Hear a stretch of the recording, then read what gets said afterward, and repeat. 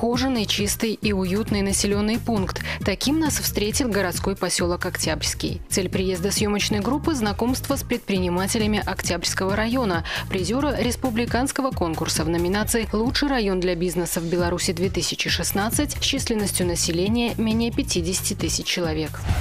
Признание в сфере развития предпринимательства на республиканском уровне – факт не случайный. К этому шли не один год, рассказывают в Октябрьском райисполкоме. Здесь буквально каждого местного предпринимателя знают в лицо, стараются помочь и поддержать. А развитие малого и среднего бизнеса в районе в числе первоочередных задач дня сегодняшнего.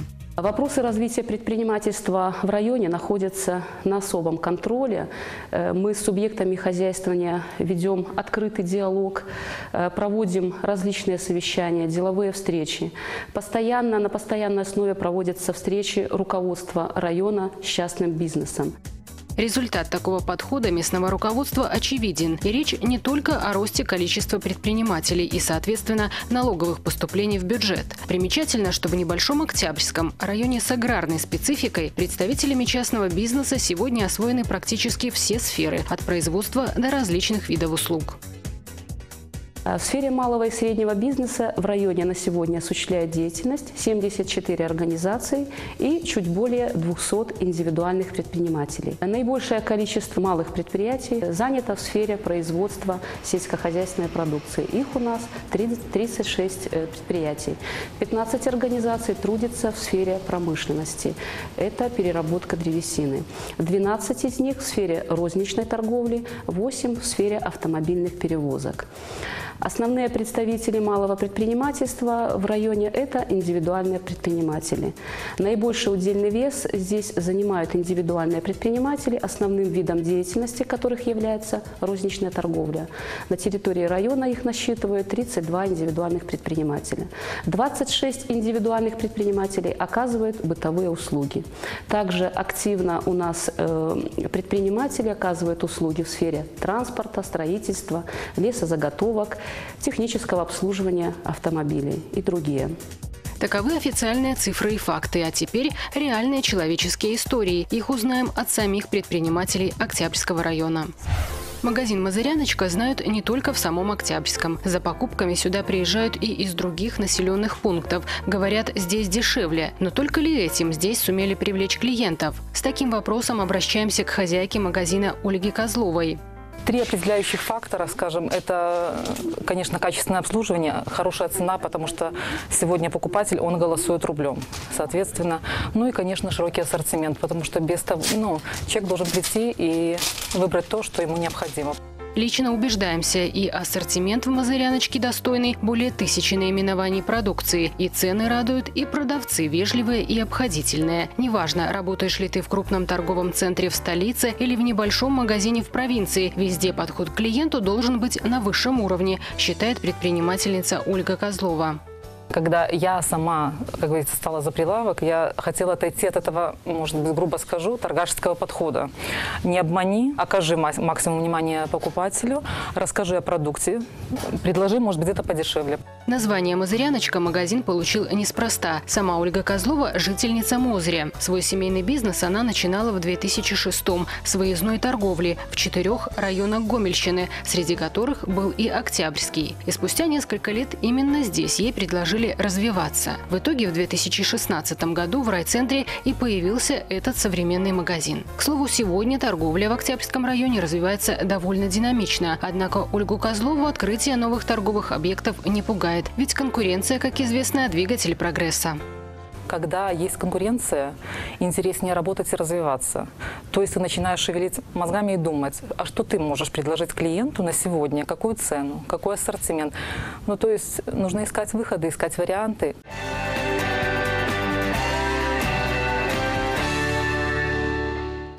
Фермерское хозяйство Цыганкова – крупное, стабильно работающее сельхозпредприятие. И поначалу немалое удивление вызывает факт, что руководит им хрупкая женщина. После трагической гибели мужа Татьяне Цыганковой, человеку далекому от аграрной темы, пришлось взять управление хозяйством в свои руки. Вспоминает, было непросто. Училась у работников хозяйства, коллег-фермеров, читала специализированную литературу. Сейчас Татьяна Цыганкова на фермерской стезе ощущает себя вполне уверенно. Продукцию реализуем Работаем с базами в основном. Немножко на магазины возим. Где-то сами к нам приезжают. Уже так как разрекламированное хозяйство, люди знают, приезжают. Им нравится наша продукция. У нас семена все голландские. Мы покупаем хорошие семена.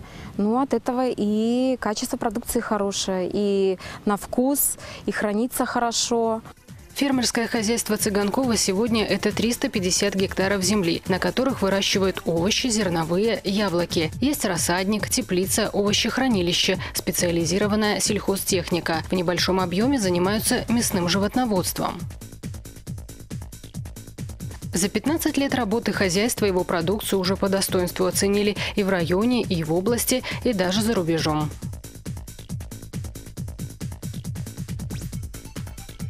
Вот у нас даже есть с России приезжают, которые родом с Октябрьского, и именно приезжают к нам, покупают всю продукцию на зиму и говорят, что она очень вкусная и вот то, что экологически чистая. Это в первую очередь. Если мы выезжаем куда-то на рынок торговать, как только видят Октябрьский район, сразу все идут к нам, потому что знают, что все-таки Октябрьский район – это чистый район.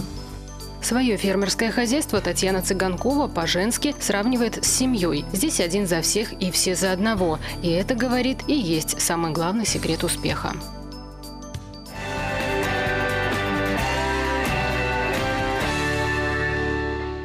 Деятельность производственного предприятия ЛСМ «Пилет» – яркий пример того, как в Октябрьском районе работают с иностранным инвестором. Когда гражданин Германии Йохан Марштадер решил открыть в Беларуси бизнес по производству топливных гранул, было изучено немало вариантов в разных районах. В итоге решили остановиться именно в Октябрьском долго подбирали объекты. Как бы мы по Беларуси проехали, э, посмотрели Глузский район и так далее, там подобное. Побыв в Октябрьском районе, нас тут хорошо встретили, как бы провели по всем возможным неиспользуемым объектам, э, посмотрели сырьевую базу, близость э, лесистых таких районов, как Октябрьский, Глузский, Петриковский, Светлогорский. То есть все как бы все сложилось очень хорошо.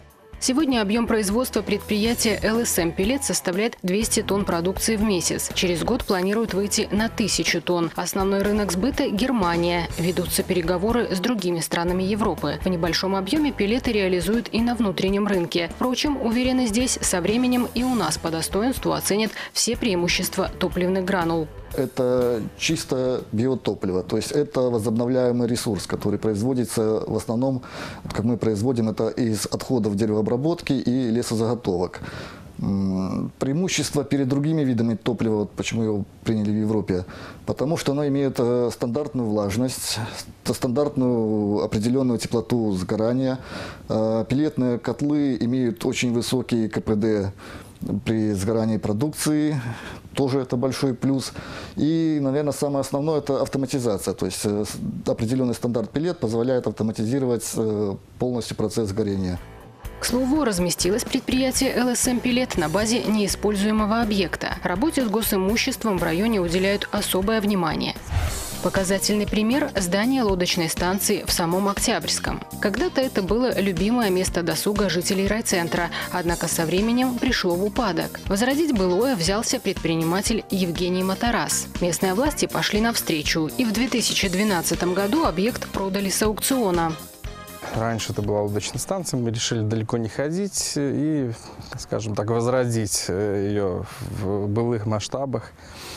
Тем более, что место красивая. Раньше здесь были пляжи. Вот. Решили начать с лодочной станции. Э, купили один катамаран, какие-то запчасти были, что-то, в общем, начали собирать. в итоге вот тот парк, который у нас сейчас есть, вот мы с ними работаем. Сочетание живописной природы и активного отдыха пришлось по вкусу жителям Октябрьского и в наши дни. В летнее время в посетителях здесь недостатка нет, рассказывает предприниматель. А вот зимой закономерно такой вид отдыха не востребован. Так пришло решение освоить еще одно, так сказать, всесезонное направление бизнеса. И в 2015 году в здании лодочной станции предприниматели открыли тайм-кафе «Пристань». Сегодня таким форматом заведений могут похвастаться лишь крупные города. И вот теперь райцентр Октябрь Октябрьский. В тайм-кафе или антикафе посетители платят за проведенное время. Взамен же получают уютное место, чай, кофе, доступ в интернет, различные настольные игры и другие развлечения. В тайм-кафе «Пристань» от классического формата решили не отступать. Здесь мы сделали упор на настольные игры. Здесь есть э, интернет, э, Wi-Fi, то есть можно использовать также как такой мини-офис. Основная аудитория – это подростки, это старший школьный возраст, это студенты, которым здесь интересно, они все себе находят занятия по интересам. Сарафанное радио хорошо работает, люди подтягиваются, им интересно. Э, появилась тенденция, что люди приезжают из соседних районов, э, из Глузка, из Светлогорска бывают у нас люди. Предварительно связываются, интересуются о программах, которые у нас планируются, которые у нас проводятся. Свою фантазию и креативность Евгений Моторас вместе с супругой проявили не только в оригинальном формате заведения, но и в оформлении его интерьера. Буквально все здесь сделали своими руками. Стиль выбрали морской, максимально обыграв тему пристани.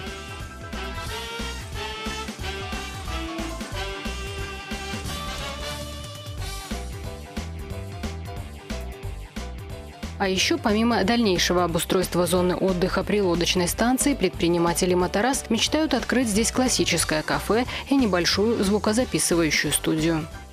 Планов много, э, желание дальше двигаться вперед у нас есть, возможности есть, власть э, содействует э, нам в развитии нашего бизнеса. И совместно мы будем дальше работать и развивать наш край. О том, чтобы приносить пользу родному краю, в свое время задумался и предприниматель Александр Лебедев. После того, как отслужил по контракту в армии и поработал на строительстве в Москве, для себя решил, деньги можно заработать и у себя на родине, да так, чтобы было и себе, и людям. Пошел располком, сказал, давайте мне землю, хочу, говорю, открывать свой бизнес. Они мне, короче, так сразу не поверили. А я сразу хотел фирму открыть и участок взять, строиться как бы новый человек, сразу заявляю, что буду фирму открывать и участок давайте. Конечно, так немножко с опаской, но дали, поняли, я их как бы убедил. В итоге Александр Лебедев открыл предприятие по деревообработке, а параллельно и сферу услуг решил освоить. Сегодня в этом красивом природном уголке Октябрьского района идет строительство будущей агроусадьбы. К слову, к выбору этого места Александр отнесся с особой тщательностью. Основной критерий был таким – здесь должна отдыхать душа. Объехал весь октябрь, искал, правда, месяц, мне и так везде смотрел. И ну, место мне понравилось, скажем. То весной здесь приходишь, и здесь слои полностью. Я вот просто даже, когда еще ничего не было, был один фундамент, прихожу даже просто посидеть. Слои поют, птички, короче, природа, отдых полностью. Вот уже практически готов коттедж для гостей. Здесь будет баня, а здесь винный погребок. С азартом рассказывает Александр Лебедев. Вблизи можно будет поохотиться и порыбачить. Вот только название агроусадьбы пока еще не придумал, говорит Александр. Но в нем обязательно будет слово «друзья». Ведь это, считает предприниматель, самое главное в жизни. Местное руководство отмечает, в Октябрьском районе есть немалый потенциал и возможности для развития бизнеса. Здесь рады каждому серьезному и ответственному инвестору и обещают всестороннюю поддержку.